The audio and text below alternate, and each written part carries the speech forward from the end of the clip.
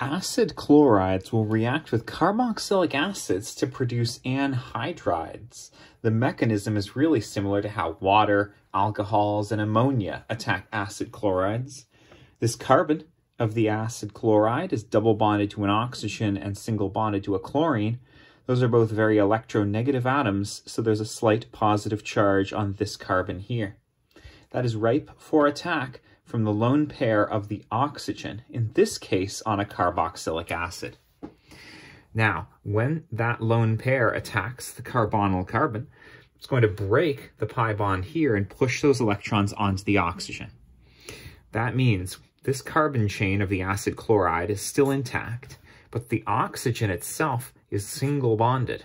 It now has three lone pairs and a formal charge of minus one. The chlorine is still attached, and you are now attached via the oxygen of the carboxylic acid. So carefully copy out the bond from oxygen to carbon, the double bonded oxygen on that carbon, and the rest of the R group, however long or short that might be, of the carboxylic acid. Now that oxygen still has its hydrogen on it. It'll disappear eventually. And now that means it has three bonds and a formal charge of positive one. So what happens next? Well, the same thing that happens for many acid chloride mechanisms. The double bond between the oxygen, the oxygen that has the formal charge of minus one, reforms. It's basically the reverse of what happened here.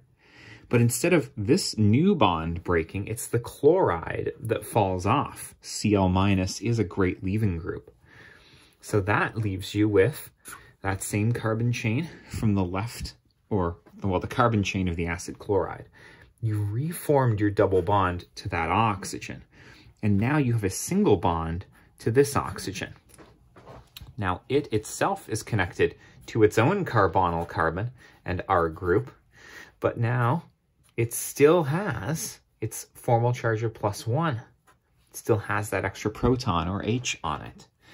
Now you have created chloride as a byproduct because it is the thing that fell off of this molecule or left. And it's also the thing that can help to deprotonate this in the final step. The bonding pair between oxygen and hydrogen now go to the oxygen itself, and you end up with your finished anhydride. Take a look. You've got that carbon-carbon bond. You've got your double bonded oxygen. That came from the acid chloride. A single bond to oxygen. Another single bond to another carbonyl group which itself has a longer R chain on it. Now that's an anhydride. In addition, you get HCl as a byproduct, but more importantly, you have this anhydride compound. Oh, it's a beautiful thing. Acid chlorides and carboxylic acids make an anhydride. Here's the mechanism. Hopefully you understood it, and uh, best of luck.